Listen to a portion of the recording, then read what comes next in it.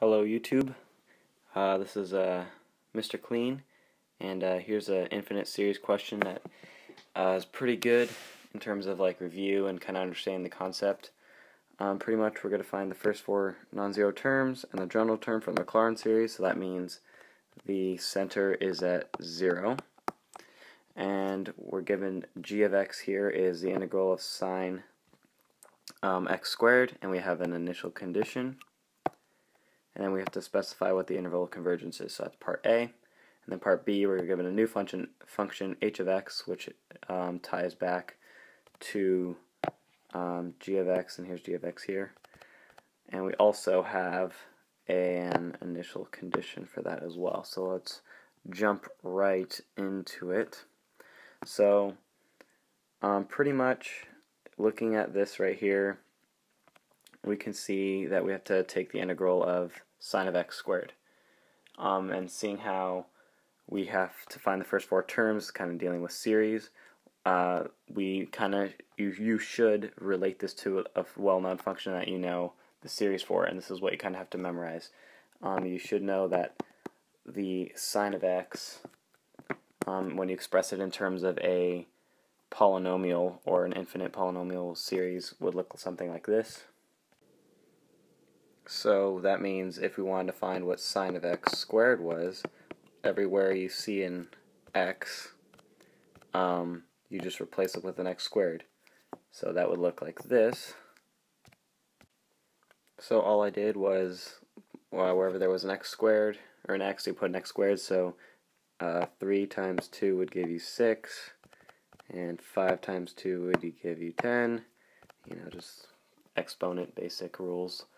Um, so then the only difference is that you would see besides that is the nth term would change. So again, going back to the same rule, whenever you see an x, you put an x squared. So the only thing that would be different here is you just put a x squared. Um, so now we have that, but that's not even what we're doing. We have to, or that's not even like, um, we have to take the integral. So, sorry, it's kind of late and I'm tired. Um, pretty much you just take the antiderivative of every term. This term, that term, blah, blah, blah, blah. And you're going to do that, and I'll go ahead and do that real quick. Okay, so the antiderivative of x squared would be 1 third x cubed, because you add a power and then divide by that number. Um, same thing, antiderivative of x to the 6th would be here, you raise it to power, so it becomes 7, and divide by 7, and then same thing, just times 3 factorial. And then um, antiderivative of x to the 10th is x to the 11th over 11 factorial over 11 times 5 factorial, since that was from the original. And then, you know, dot, dot, dot. So what's the difference in the nth term? Well, the x's stay the same, and um, pretty much if we were to distribute that here, what would we have? We'd have an x to the 4n plus 2, right? But that would give us um, even terms, right? We want odd terms. So how do we make it odd? We add 1. So it would be 4n plus 3. And that's the difference with the nth term there. Um, Another thing too, look at the denominator. We have a 7 here and 11 here. Um, it's going to look kind of weird, but the nth term would be also 4n plus 3 in the denominator. Also times, remember that factorial, that always stays there. So this is the stuff that made it different um, in terms of the nth term. So now that we have that, there's one thing we're missing. I don't know if you guys caught it, but there should be a plus c whenever you take the antiderivative, right? So you could do plus c. Um, a better place to put it would actually be right here. Let me just make a spot for it.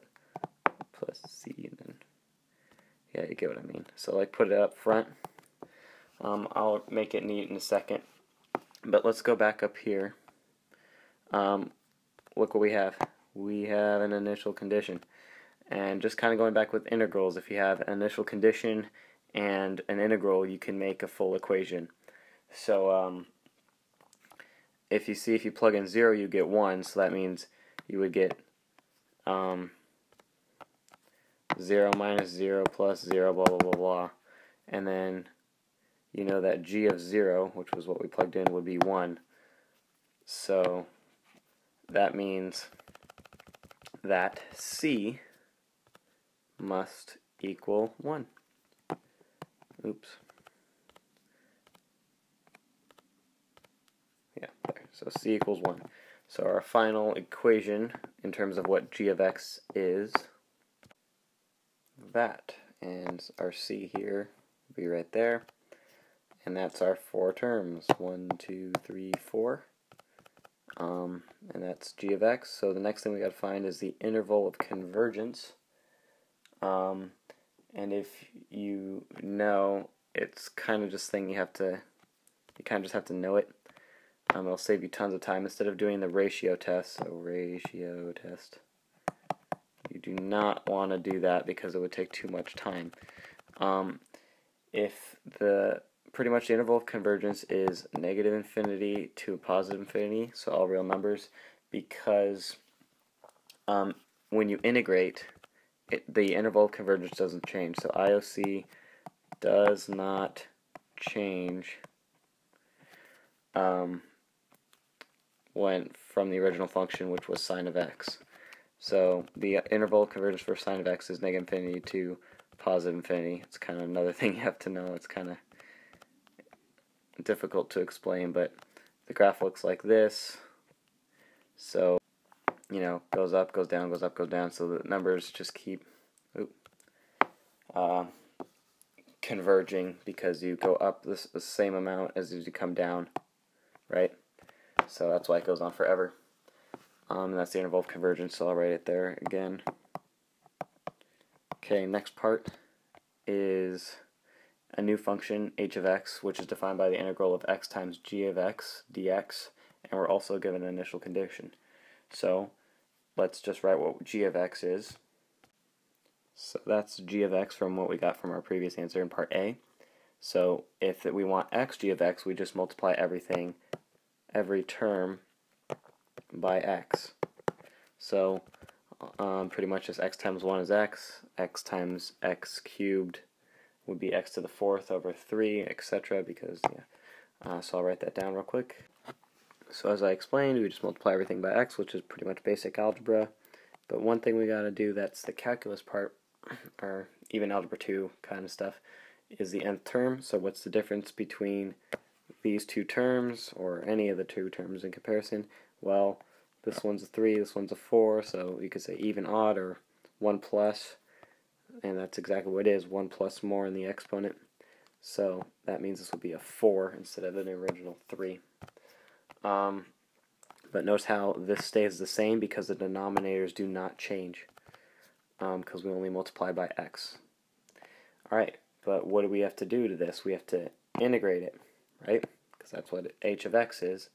So that means the same thing. Do antiderivative rules, you would get um, x squared to the 1 half, and you're going to do that antiderivative for each term and then find the nth term. So I'll do that real quick and explain.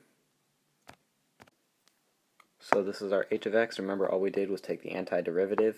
So right here, antiderivative of x to the fourth would be 1 fifth x to the fifth. So all you do is bring the 5 in the denominator since it's 1 fifth. And the 3 still remains. So that happens to everything here. So boom, boom, right? And just keep it going.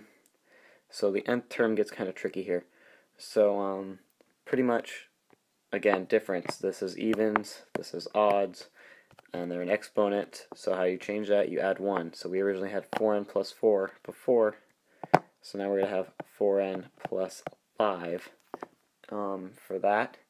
And notice how we're adding stuff to the denominator as well, so that 4n plus 5 is also going to come on the bottom here in the denominator, 4n plus 5. But we also have those other odds, so if you if we did 4n plus 4, it would be even, but we want odds, so we got to go down again, 4n plus 3. And that's how we'd get that.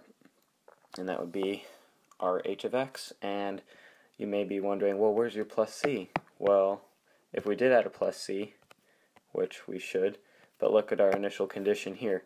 It's if h is 0 is 0, then c would be 0 because so c equals 0, because c plus 0 plus 0, 0, 0, 0, blah, blah, blah, blah.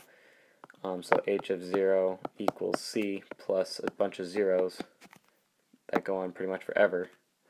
Um, c would equal 0.